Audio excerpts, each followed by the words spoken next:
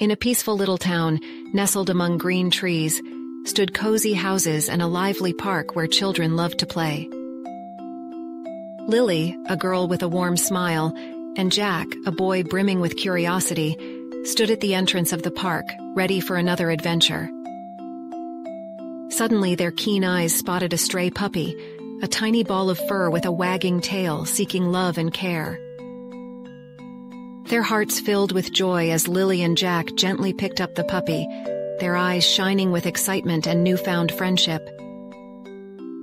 Carefully tiptoeing, Lily and Jack headed towards their home, the lively puppy tiptoeing beside them. They glanced around, ensuring it remained their little secret. Laughter echoed through the house as Lily and Jack played with the puppy, their hearts brimming with happiness.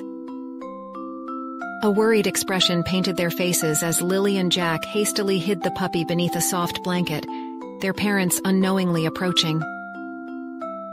Their parents' gentle gestures accompanied honest words, teaching Lily and Jack the importance of responsibility and telling the truth.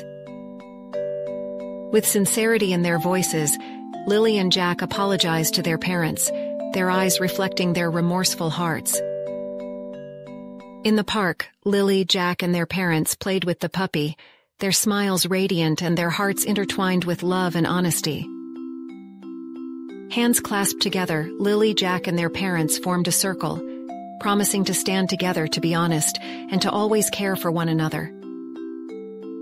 With a sense of newfound responsibility, Lily, Jack, their parents, and the puppy walked home, their steps filled with love and the cherished bond of honesty.